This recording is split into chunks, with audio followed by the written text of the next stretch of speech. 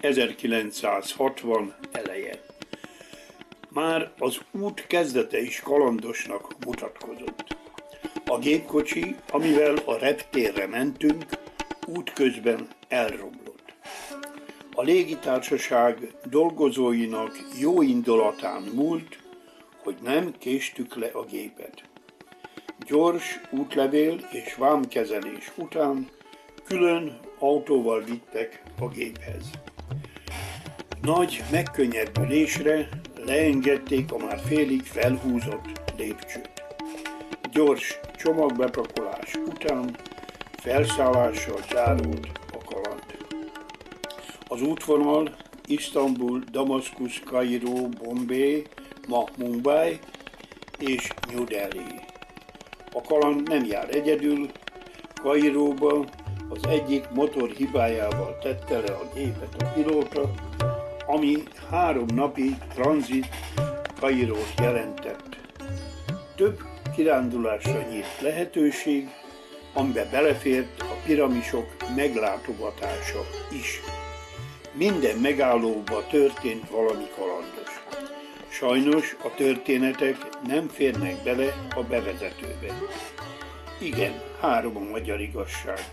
A végállomás előtti útszakasz egy részét leborotvált a lavina. Azt is túléltük.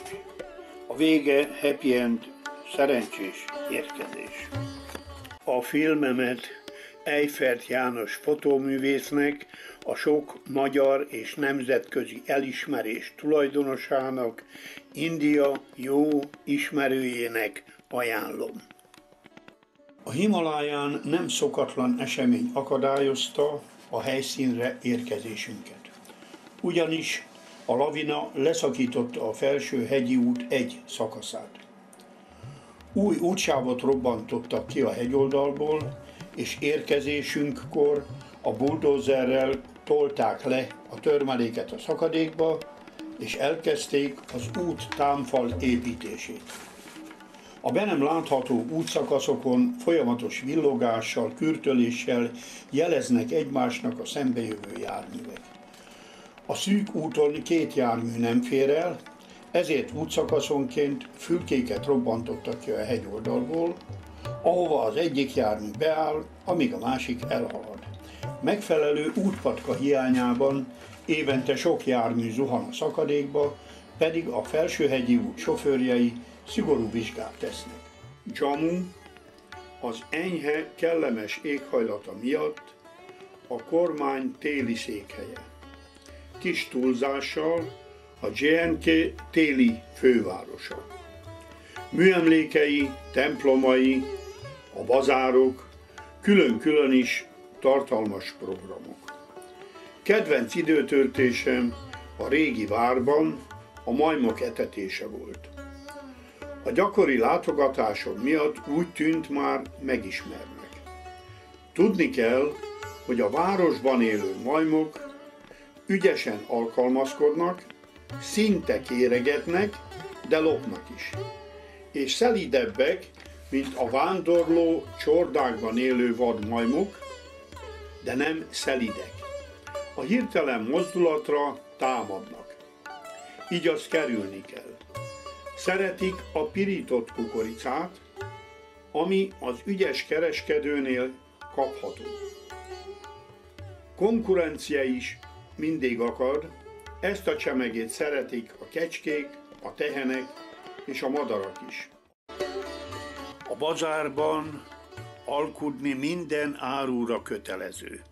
Az alkudozás jó hangulatban angol, magyar, hindi, urdu nyelvtöredékekkel történt. Általában az alkudozás tenyérbe csapkodással ért véget.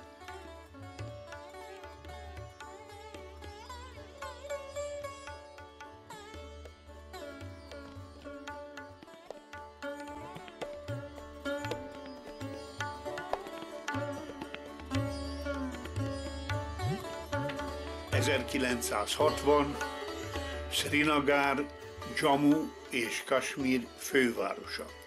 A hósapkás Himalája csúcsaival körülvett, a Jalam folyóval kettévágott főváros, a hozzátartozó házhajókat és sikarákat ringató, strandolásra is használt tavaival, csodás mogulkertjeivel, élményteri kiránduló helyeivel, ma is a nemzetközi turizmus rangos célterülete.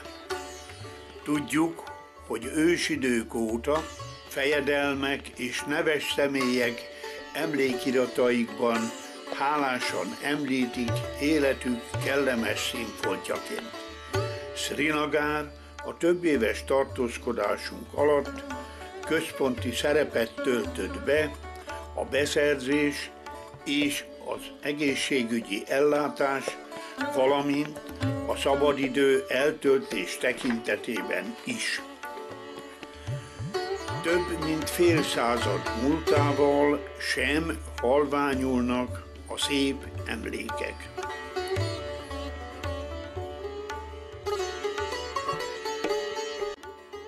Praktikus a tevékkel történő szállítás. Hosszú utakat is meg tudnak tenni, táplálék és víz nélkül. Megtévesztő a lassú mozgásuk, pedig gyors versenyekre is képesek, ha arra idomítják őket.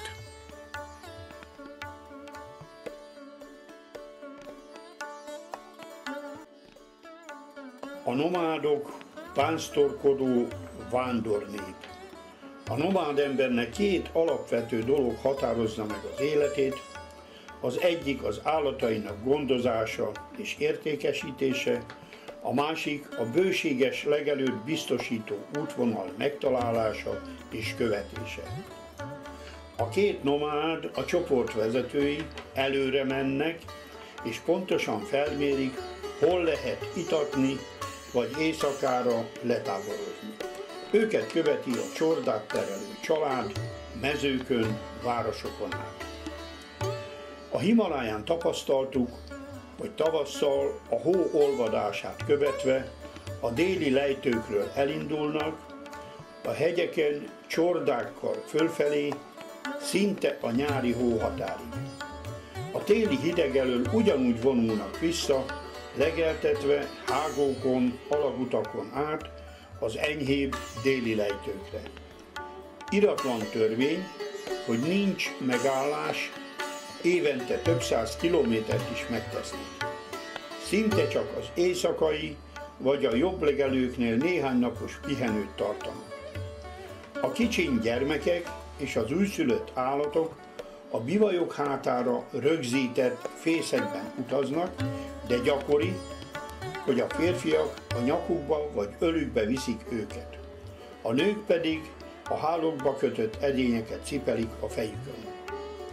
Zárt közösségben élnek, tartózkodóak, de barátságos emberek. A nomádok nem szegény emberek. Barátaim Jamuba mutattak egy parkosított kertbe lévő elegáns épületet. Felhívták a figyelmet a kert végében épített hagyományos sátrakra.